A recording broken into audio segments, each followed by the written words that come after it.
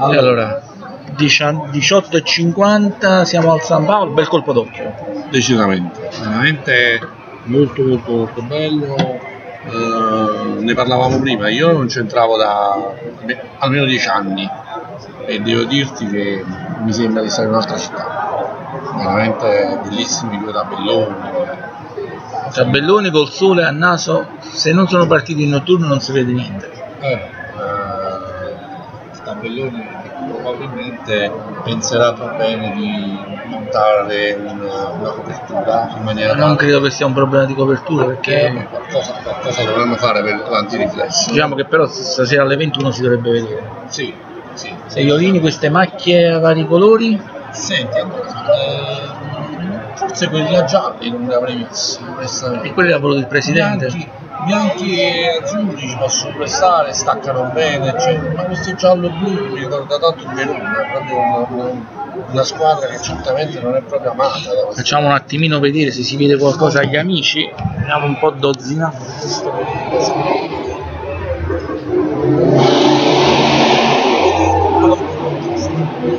Abbiamo ben altre cose.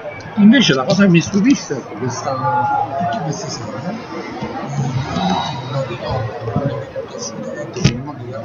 dove poi le delegazioni si seguono, eh, fanno in genere il giro e poi si fermano e ognuna occupa uno spazio della, della pista atletica, che oggi come oggi E il Vesuvio? Come lo vedi? tutto stilizzato, molto moderno, ipermoderno, ipercontemporaneo. Non lo so, forse probabilmente con il gioco di, di luci che ci sarà stasera avrà, avrà il suo perché. Eh, visto così,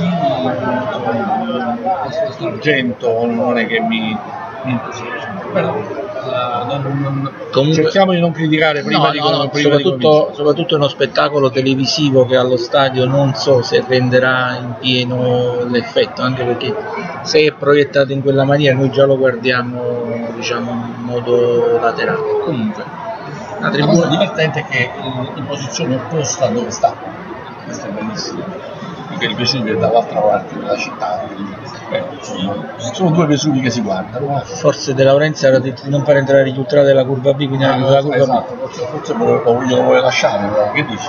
No, invece io vorrei parlare un attimo un po' di quello che è stato la- l'odissea dell'ingresso. Ne vogliamo parlare? Eh, te lo stevo chiedendo o io. vogliamo cercare di essere, essere Stadio buoni- blindato, buoni- buoni- stadio blindato. stadio blindato, eh, accrediti incredibilmente eh, diciamo che doveva fare la richiesta del nuovo accredito per entrare alla, alla cerimonia di inaugurazione.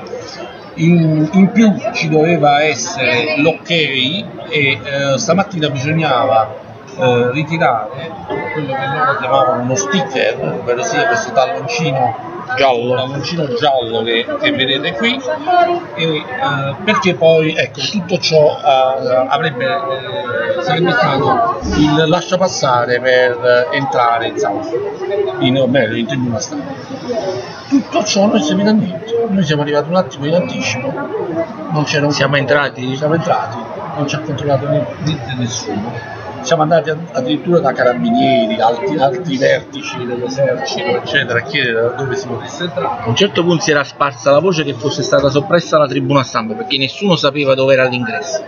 In effetti non è cambiato Però niente. per un pelo non siamo entrati proprio da- dalla tribuna VIP e tribuna autorità, ma proprio perché non abbiamo voluto Però, provarci. però abbiamo, siamo passati attraverso dove stavano preparando il banchetto per la tribuna autorità. Sì, Quindi sì, sì, speriamo che arrivi qualcosa pure in tribuna stampa. Mm, ma dubito, dubito, abbiamo visto tante belle le cornie, eh? Belle, belle cose. Siamo qui per lavorare. Eh, vabbè, però, È un duro lavoro, Se qualcuno- ci dovessero portare qualcosa, Portateci non- da mangiare. Non, eh, non disdegniamo. Adesso Allora, però, aspetta, sottolineiamo, mentre noi napoletani, del sud, eccetera, italiani, abituati a queste, questa situazione di sì, i fotografi, pressappochismo, i fotografi siamo- stranieri erano soprattutto fotografi che si erano avviati per ma io ho visto la faccia dei cinesi, dei cinesi e dei giapponesi e soprattutto degli inglesi, cioè stravolti, dico, dove siamo capitati?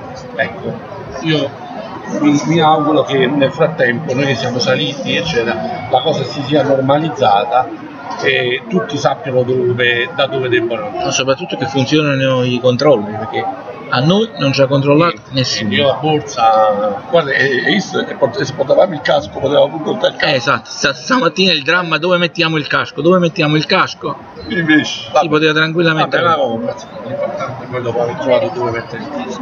Comunque, chiudiamo per adesso, ci sentiamo più tardi.